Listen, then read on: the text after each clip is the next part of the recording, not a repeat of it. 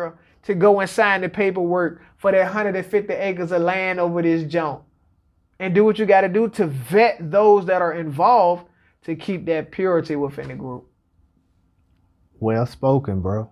Well Praise spoken, God, bro. The people need hope. That's what we need. Right there is hope.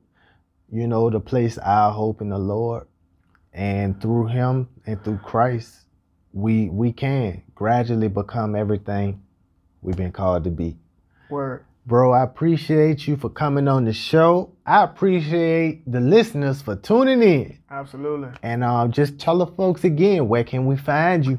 Um, all social media, mainly Facebook, uh, Facebook, Facebook, Instagram, TikTok is at the Marquise. T H E Marquise.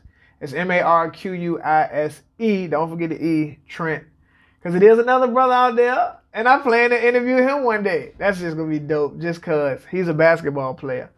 Um, what's up, man?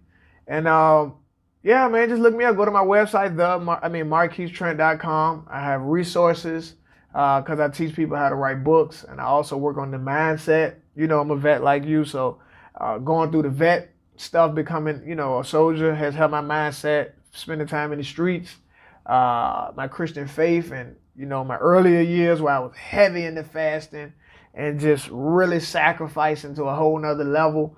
That has built up grit, resilience, and just being a, a black man in America. You know, I have experienced racism. I have experienced uh, almost being killed by the police. You know, so all of those things have helped me to get to where I am. So I ain't just speaking as a guy who ain't been through nothing, don't know. No, white people almost killed me in front of my family.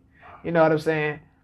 White people, you know, been there, done that. So yeah, MarquiseTrent.com, man. Please subscribe to my YouTube channel. That's on there as well. All of that can be found on my my page. And I appreciate y'all support this brother. Continue to share his stuff, man. He, he really believes God and he loves people and, and his intentions is pure. It's just like that.